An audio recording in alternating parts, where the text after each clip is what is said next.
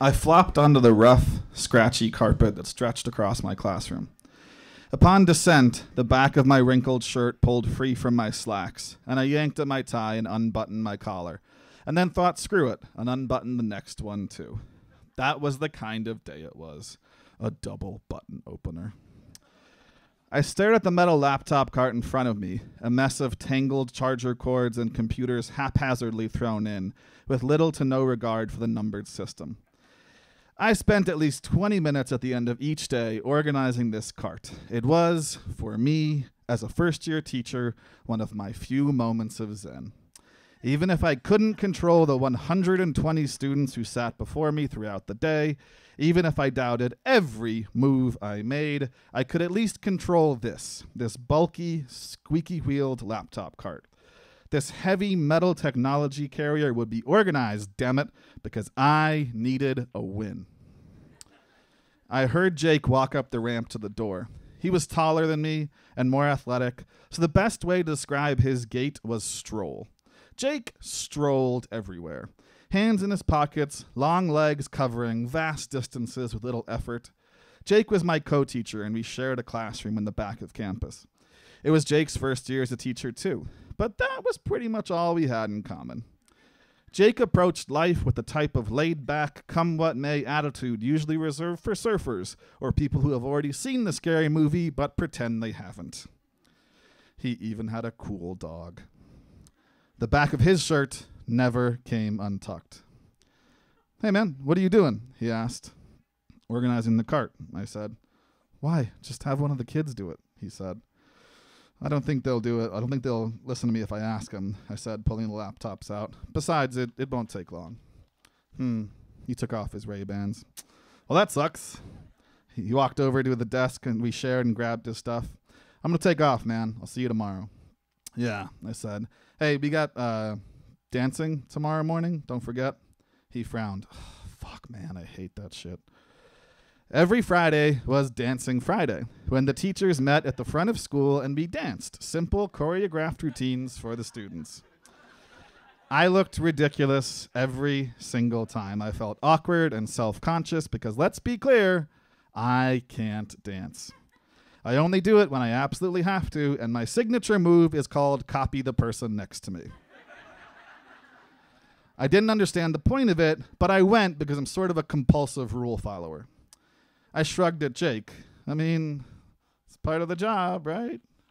He rolled his eyes and left. It was 3:30. Teaching is both an art and a science, and I thought I had the science part down even though I was an English teacher. I had read the books, tried to implement the strategies, and picked other teachers' brains constantly. Nothing seemed to work.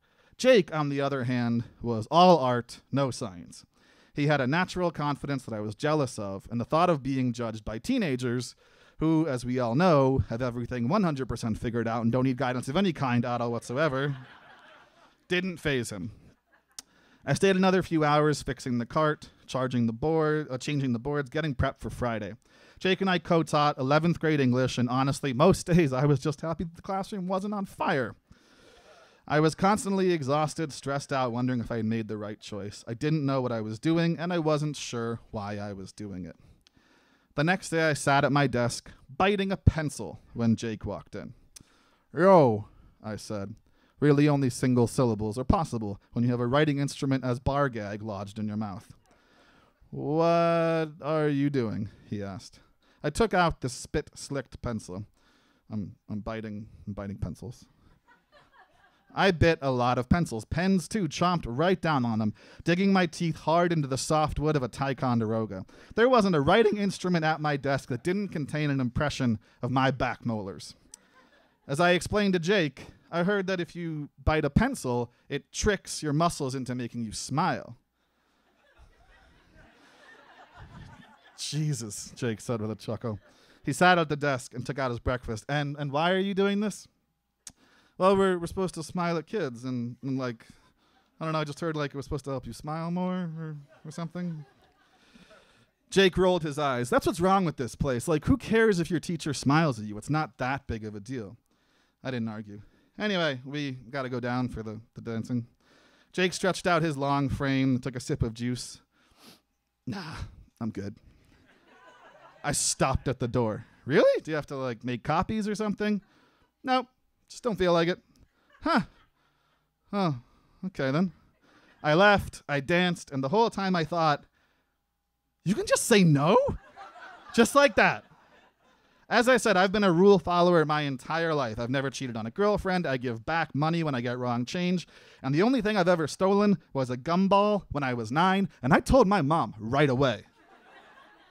So the thought of simply not doing something simply because you just didn't want to was revolutionary.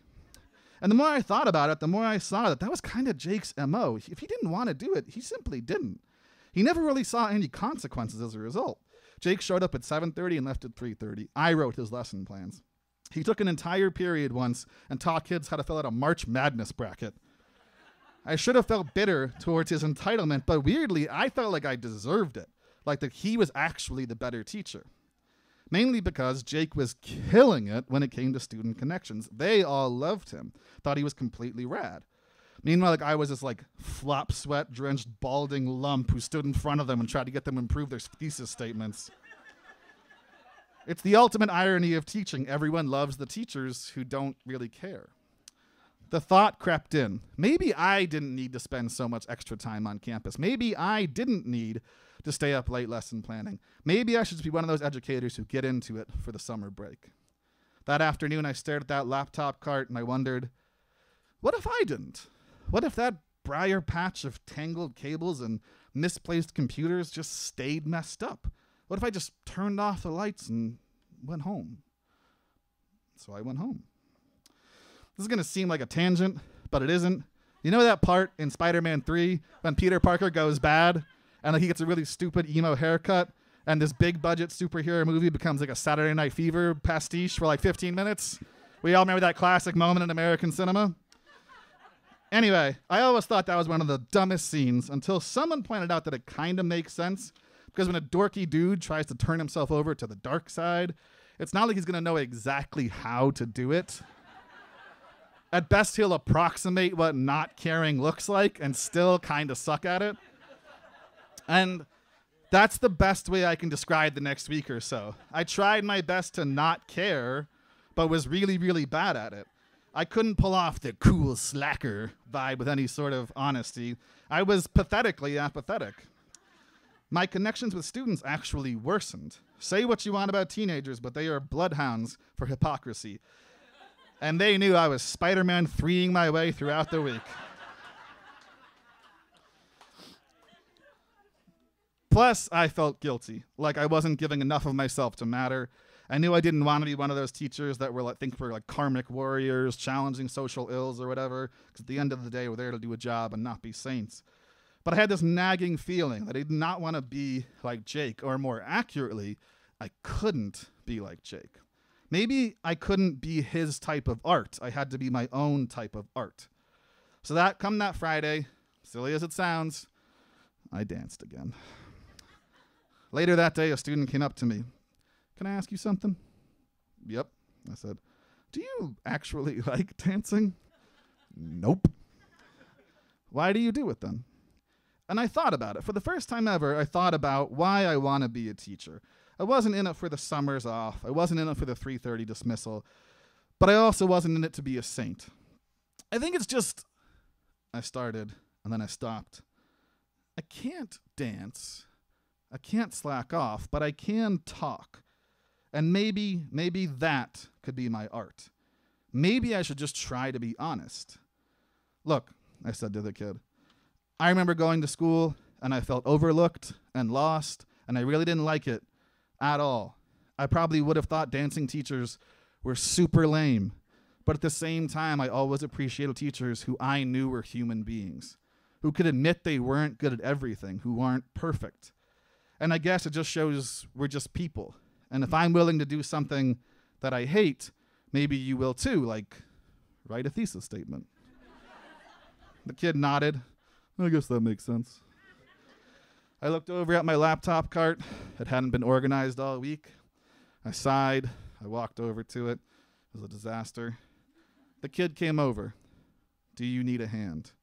I smiled. No pencil required. Thank you so much. That was Ed Farragut.